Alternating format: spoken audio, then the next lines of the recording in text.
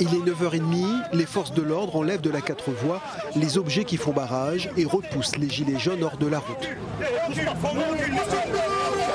Donc là, nous sommes donc dans, non pas dans le cadre d'une manifestation qui est autorisée, qui peut déraper, qui prévoit l'utilisation des sommations, mais nous sommes directement dans le cadre d'un délit, hein, qui est celui d'entrave à la liberté de circulation. Quelques gilets jaunes tentent de revenir sur la route. Les policiers interviennent à nouveau. Un moment de tension. Un homme est interpellé. Une femme fortement incommodée par l'usage de gaz lacrymogène.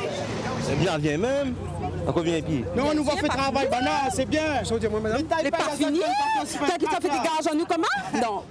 Plus tôt, dès 5 heures, c'était comme un air de déjà-vu sur la quatre voies avec camions et voitures immobilisées. Je comprends pas moi, tout est bouche, bouche, bouche, mais il faut tout le bout aussi. Nous comprenons que notre vie pour est difficile, n'est pas facile, notre vie est tous les jours. Mais à nous aussi, il n'est pas facile. depuis 4h du matin, 3h du matin, on sort de case. Et vous connaissez, le soir, on 18h, 19h. Pour les poids lourds, c'était blocage total, filtrage pour les autos. Très compliqué.